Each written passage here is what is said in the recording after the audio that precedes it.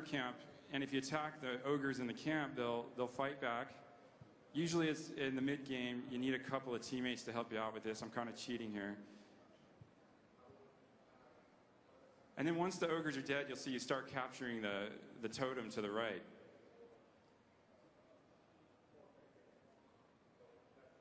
And then when once the totem's captured, you see the ogres are very impressed with your fighting prowess. They're going to join your cause. Now the enemy can come back and capture this from you, but when you capture it, you'll see one melee minion and one ranged minion have been replaced by ogres. And they're much tougher. You see the, the ranged ogre in the back is actually doing area of effect damage.